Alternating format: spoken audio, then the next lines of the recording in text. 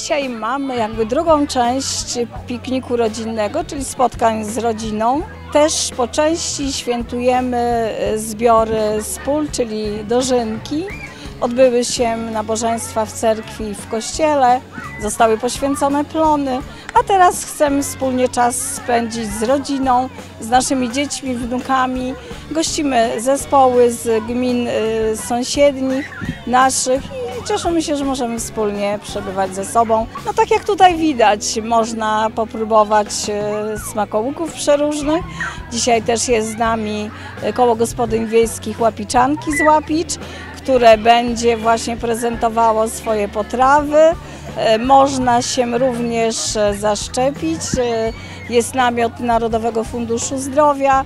E, Można także zbadać się, przede wszystkim jeśli chodzi o naszą wagę, czy też powiedzmy jakieś do, otrzymać wskazówki, co dalej robić z własnym ciałem, żeby być zdrowym. Ale także posłuchać muzyki, zespołów, o których wspomniałam przed chwilą. Y, Jak y, również z tyłu mamy tutaj atrakcje dla dzieci, to co dzieci lubią, czyli dmuchańce, malowanie twarzy, gry i zabawy. Wspólne, przede wszystkim to wspólne przebywanie ze sobą.